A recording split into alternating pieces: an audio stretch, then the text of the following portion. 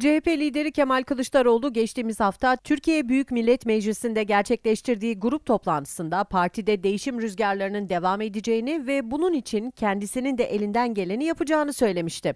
İşte o değişim rüzgarı Kılıçdaroğlu'nun danışmanlarının ve baş danışmanlarının işine son verilmesiyle devam ediyor. CHP tarafından konuya ilişkin yapılan açıklamada, Cumhuriyet Halk Partisi Genel Başkanı Kemal Kılıçdaroğlu tarafından 4 Haziran 2023 tarihi öncesi danışman ve baş danışman olarak atanan tüm kişilerin görevleri 14 Haziran 2023 tarihi itibariyle sonlandırılmıştır. Cumhuriyet Halk Partisi adına yaptıkları çalışmalar için her birine ayrı ayrı teşekkür ederiz denildi. Görevden alınan isimler arasında Tuncay Özkan, Erdoğan Toprak, Orhan Sarıbal, Ünal Çeviköz, Nuşerivan Elçi ve Deniz Demir gibi parti içinde önemli rolleri bulunan kişiler de yer alıyor.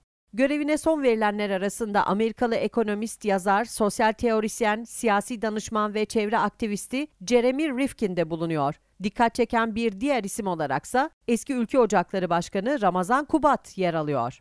Rifkin, 2022 Aralık ayında İstanbul Lütfü Kırdar Kongre Merkezi'nde CHP'nin ikinci yüzyıla çağrı sloganıyla düzenlediği programda konuşmuştu. Düzenlenen organizasyonda CHP'nin ekonomi kadrosu Kılıçdaroğlu tarafından açıklanmıştı. Kılıçdaroğlu, Türkiye'yi dünyanın merkezi yapacağım dediği vizyon belgesini açıklaması esnasında yeni endüstriyel dönüşüm başkanım diyerek tanıttığı Jeremy Rifkin'in online bağlantısı ve salonda yaşanan çeviri aksaklığı damga vurdu.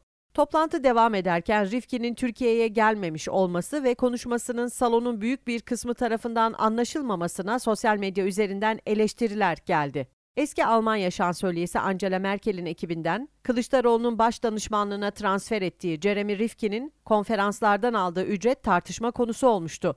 Rifkin'in o konuşma için 20 bin dolar aldığı ileri sürüldü. Rifkin konuşma yapması için Amerikan ve İngiliz organizasyon şirketlerinden 30 ila 100 bin dolar aralığında ücret talep ediyor.